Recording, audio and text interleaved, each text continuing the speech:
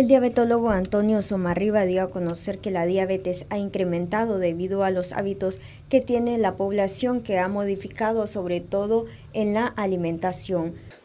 Y el hecho de no tener mucha actividad física porque están dentro de su casa, están, están menos activos, por lo tanto eso favorece el sobrepeso y la obesidad. Y eso hace de que aumente la resistencia a la insulina y provocando más elevaciones de la glucosa dentro de la casa. ¿no? Eh, ha variado totalmente el contexto del comportamiento debido al COVID. Pero siempre hay una, hay una alternativa y esta alternativa es utilizando las medidas adecuadas, por ejemplo, lógicamente la protección contra el COVID, pero además de eso utilizando una alimentación eh, más responsable, ¿verdad? No abusando de las comidas y si es cierto que vamos a estar en la casa, al menos hacer unos 30 minutos de ejercicio caminando, ¿verdad?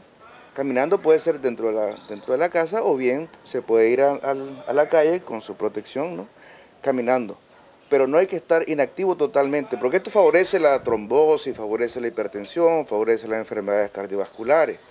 Ahora, hay un componente eh, hereditario de la diabetes que básicamente es un factor de riesgo para los demás pacientes, pero se puede también evitar. La diabetes se puede prevenir siempre y cuando eh, se tomen las medidas higiénicas, higiénico-sanitarias. Toma Arriba agrega que actualmente esta enfermedad ha aumentado entre un 17 a 18% la cantidad de los casos. Por ejemplo, aquí en Managua hay más de 600 mil pacientes diabéticos debido al, mayor índice de población que tenemos.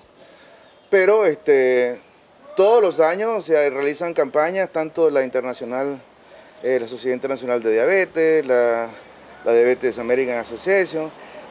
Eh, campañas sobre todo de prevención, de mantenimiento, de, del control y, es una lucha que, nunca va a terminar porque siempre tenemos eh, un crecimiento poblacional. La gente vive más ahora que antes. Noticias 12 Darlene Telles.